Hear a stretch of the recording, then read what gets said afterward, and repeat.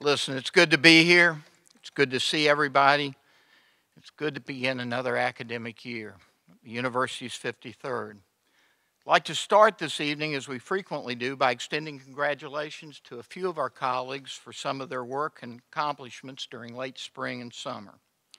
Kyle Morgan on the publication of articles in the British Journal of American Legal Studies and the West Virginia Law Review.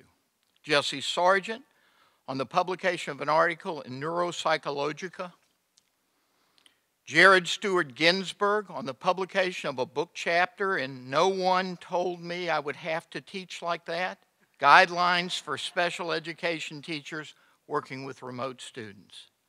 Lance Welty on the publication of a book, BJU and Me Queer Voices from the World's Most Christian University, published by the University of Georgia Press. Glenn Gorley is recipient of the South Carolina Theaters Association 2022 Lifetime Service Award. Don Larson as recipient of the Critics' Choice Award at the 2022 Atlanta Fringe Festival for the show Granny's Fix It. Philip Fulmer for appointment as a Fellow of the Health Physics Society. Courtney Clayton on the publication of an article in the South Carolina Teachers Education Journal. Ted Couch on election as the president elect of the South Carolina Sociological Association. Kylie Molinari as on appointment as editor for the Southern Anthropological Society proceedings. Kim McQuiston and Lindsay Simmons on appointment as co directors of the new Center of Excellence for Teacher retention, and induction. Polly Hazelton, on her appointment, joining Matt Nelson as co directors of the Center of Excellence for College and Career Readiness. And a special thank you to Meredith Love and Matt for the fine job they've done in establishing and developing that center over the past eight years and helping thousands of kids across the Pee Dee. Cindy Nixon on election as treasurer of the South Carolina Division of Career Development and Transition. Michelle Norman as a recipient of the 2022 Louis DiCarlo Award for Outstanding Clinical Achievement from the South Carolina Speech Language Hearing Association the entire Department of Sociology for hosting a state conference of the South Carolina Sociological Association this past year and planning to do it again this next year. The entire FMU chapter of universities studying slavery for hosting a state conference of other USS chapters this past year and planning to do so again this coming year the Center of Excellence for Teachers of Children of Poverty for hosting another conference of teachers throughout the state here this year, as they do every single year.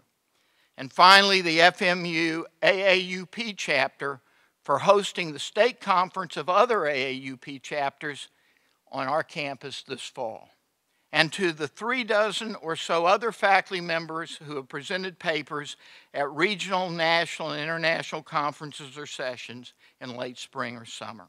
Let's give them all a round of applause.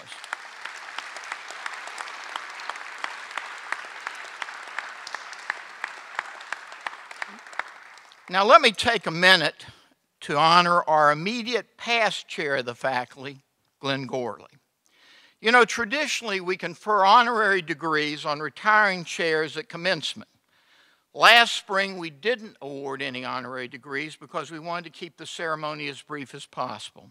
But this evening we'll take the time to thank Glenn properly. So, Mr. Chair, will you come forward? And Mr. Provost, would you assist me in this presentation?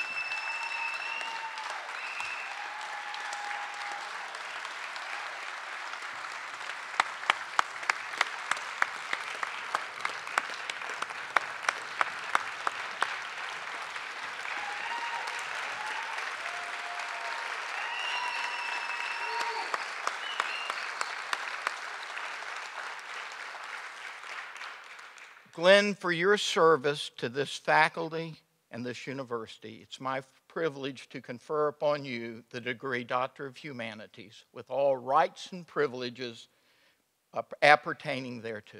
Congratulations, my friend.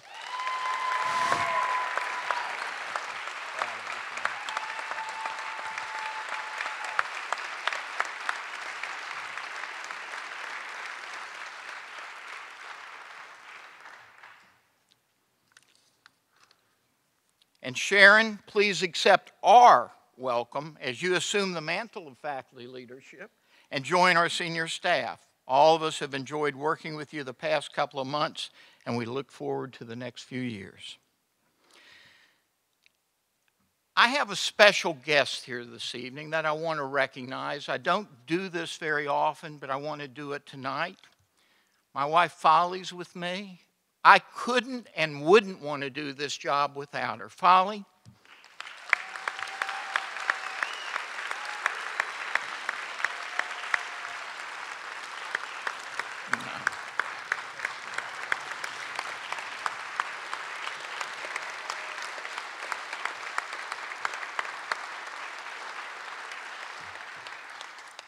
Thank you. Just one more recognition and we'll move on. Retirements this past summer opened up an appointment for our next trustee research scholar. This person has compiled a substantial research record and is one of our finest teachers. But beyond all of this, he spent the last decade developing a very special site for faculty and student research, Wild Sumaco. The newest trustee research scholar is Travis Knowles.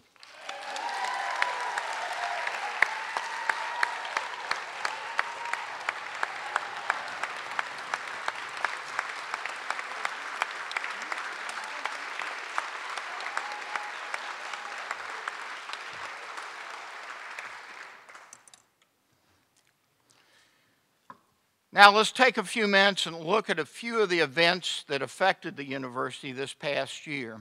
We, we were fortunate in withstanding the challenges of COVID fairly well, all three surges. And once again, our infection rate has been the lowest among the public comprehensive and research universities in South Carolina. Despite the COVID surges, we had exceptionally large graduating classes in December and May as we did in the previous year. Let me extend congratulations to our students and to all of you for achieving this. It's, it's a substantial recognition that, after all, we're here to get our students through and get them degrees. Meanwhile, at the state level, politics were predictably chaotic. During the first part of the legislative session, bills were proposed dealing with tenure, CRT, ideology, and academic freedom. With the support of most of our sister institutions and our AAUP friends, we were able to diffuse each of these initiatives.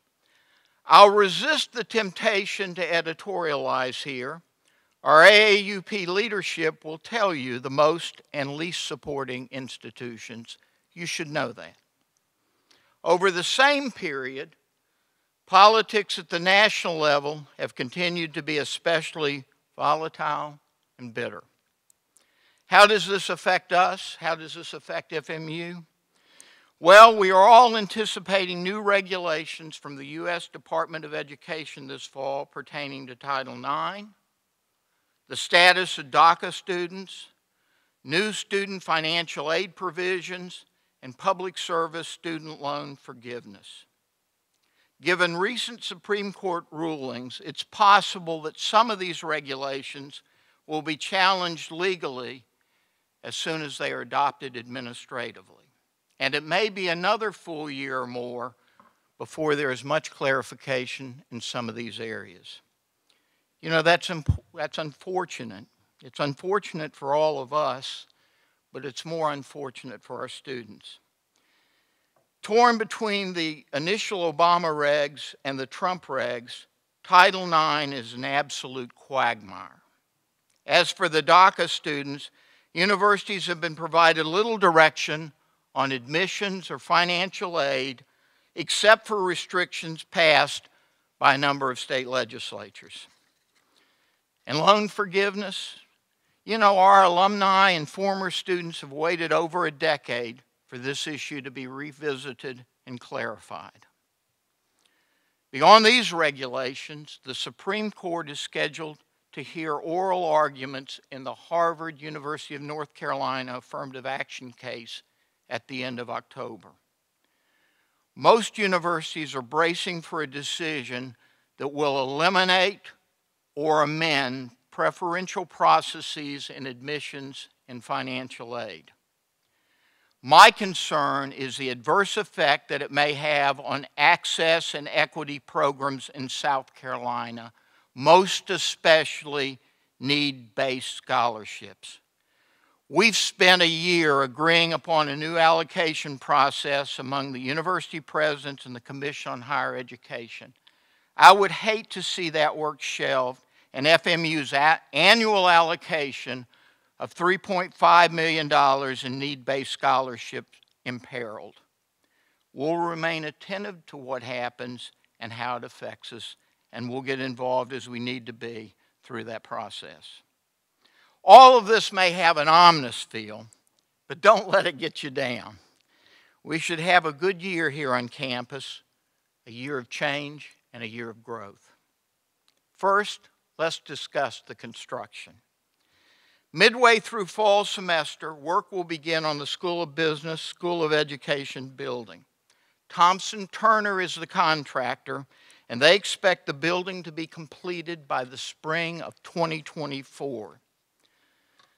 The building will be stunning. The plans are beautiful.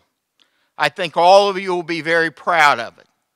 I've always regarded the Lee Nursing Building as the most elegant building on campus. This building will be a fine complement right across the pond. This December early January, we'll begin the renovation of the Smith Student Center. The gymnasium and the rear portion of the building will be closed during spring semester and throughout the first part of the summer. If construction goes as planned, we should be back in that building by the fall of 2023. These two projects taken together means that the lower part of campus, the southern part of campus, will have a fair amount of construction underway for the next year to 18 months. During the same period, we'll be paving a few roads and parking lots, staggered in a way to minimize as much congestion as possible. Next summer, many of the maintenance projects and other academic buildings across campus will be completed. Later this year, construction will, become, will begin on a new workshop for our engineering programs across campus in the open space right behind the grill. This fall, we'll also choose a contractor and begin drafting plans for the Circle Park building downtown. We'll do this in, in consultation with the medical schools at US, excuse me, at USC and MUSC. Then next spring, our focus will shift back to the main campus as we select a contractor for the Forestry and Environmental Sciences building, which we anticipate will be complete in late 2024 or early 2025. Just be patient with us. There'll be 80 to 90 million dollars worth of construction underway on campus over the next three to four years. And the 2023 budget, we'll ask the legislature for an additional 9 million for a major remodeling of Founders Hall. Let's see if we can add one more sizable construction appro appropriation to what we already have in front of us. That would come at a time, if we're successful in getting the appropriation, to begin the work on, on founders about the time that we move business and we move education across campus to their new building. Next issue the provost. Earlier this year, Peter told me that in the summer of 2023, the gig is up. He's retiring. I personally don't understand this. He seems so young to me. Actually, I do understand it, and so do you. Peter's had one of the toughest jobs in academia, the provost job, and he's done it very well for the past six years. I don't want him to retire, but I respect his decision. I talked it out of it. I talked him out of it a couple of years ago, but I think he's not going to be swayed this time around. We don't we won't do a testimonial tonight because he owes us another year. But I promise you we'll put on a grand event in his honor in the spring with Australian food and drink. So this year we'll need to conduct a search for a new provost. There'll be a nine person committee. I have asked Keith Beth to chair the committee. He's a department chair. Keith is a former faculty chair and a former associate provost. He'll do a superb job. I'm also asking Sharon O'Kelly, as chair of the faculty, to serve as vice chair of the committee. Two members will be elected at large from the College of Liberal Arts, and one member each from the Schools of Education, Business, and Health Sciences. I'm also asking Demetra Walker to serve as a representative of the deans and chairs, and Charlene Wages to serve as a representative of the senior staff. Of the nine members on this committee, five are from disciplines in the liberal arts, three from professional schools, and one from the library. Six of the nine will be elected by the faculty.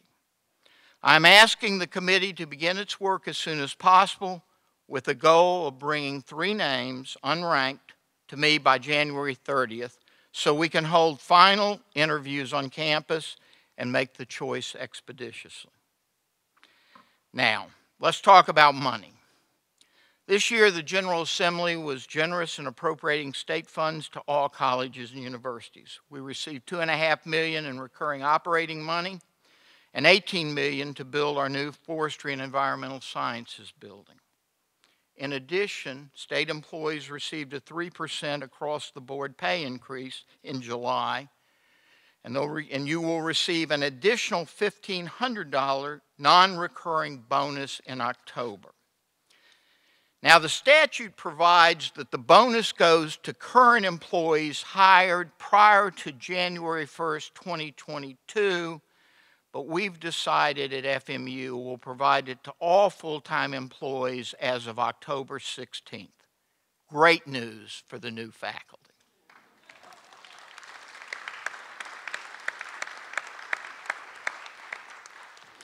But some of our employees need additional help beyond this. Last year, we provided recurring across the board increases to campus police so we could stay competitive in keeping them and recruiting them. This summer, we're providing an additional 5.5% pay increase on top of the 3% to all permanent custodial and ground employees.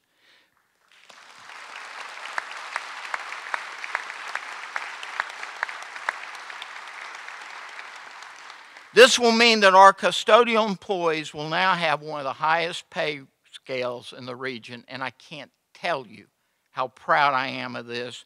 Remember, these are the folks who came to work every day to clean and sanitize our workplaces over the last two and a half years.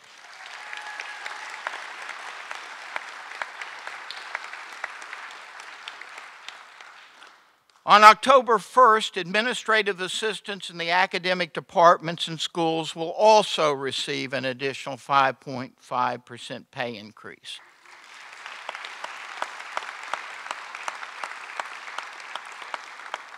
They are among the hardest working people on campus, and they richly deserve this additional compensation.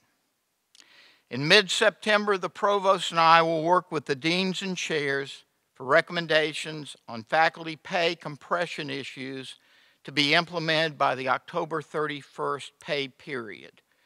We'll put $100,000 into this effort this year and a similar amount next year, assuming next year's budget permits. The Faculty Development Committee currently has a budget of $420,000. It provides grants to faculty up to 2750 per year and funding for 18 summer stipends at $4,000 each. This year, we are adding an additional $48,000 to this account. This will increase the faculty research grant level, Lorna, to $3,000 for faculty and the summer research stipends to $5,000 each. The money that the university puts in faculty research and development is one of the best investments we've made over the last two decades, and this latest increase should help absorb the rising costs of conferences and the rising cost of travel.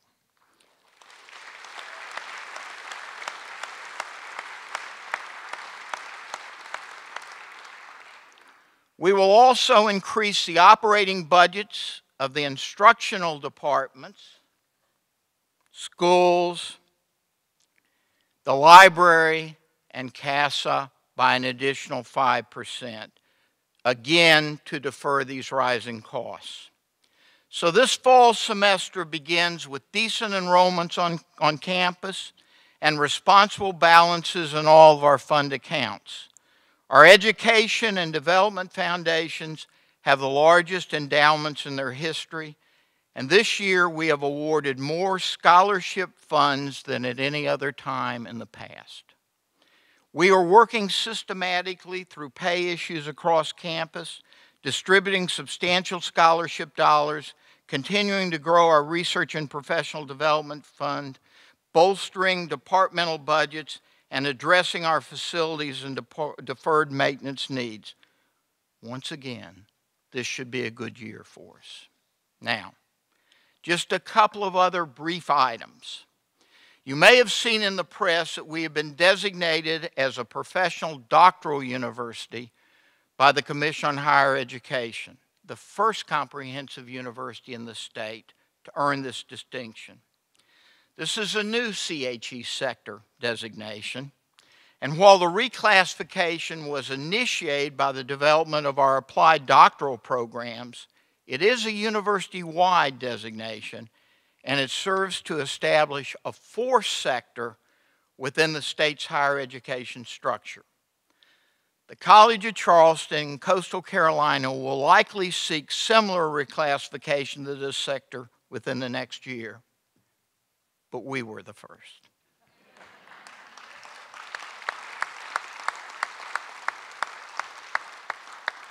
Some of you may need to work with their faculty to try to bring them along. This semester, we will begin programs in environmental studies and environmental science.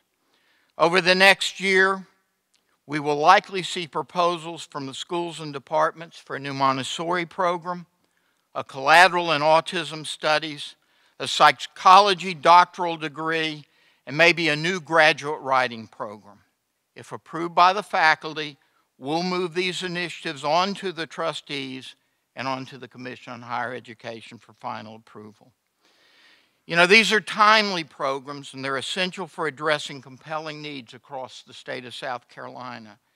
They also send a clear message to the state's leadership that our curriculum continues to be relevant, and vibrant. The last couple of years has been a challenging time in higher education as we face difficulties that were unimaginable a decade ago. If the chronicle on higher education, uh, if the chronicle of higher education is correct, the academy is increasingly divided into two categories. Those institutions moving ahead and those institutions falling behind. I assure you that we are well positioned in that grouping. One of the strengths of this university has long been the close knit relationship among trustees, the administration, the faculty, and the staff. For those of us who have struggled with various problems, both personal and professional, the friendships at FMU have always been nurturing, therapeutic, and restorative. And I'm deeply appreciative to every one of you for sustaining this sense of collegiality and support and having the innate sense of knowing just when it's needed most. Other presidents occasionally complain to me, if only I had a faculty like yours. Well, they don't, and I do. Thank you.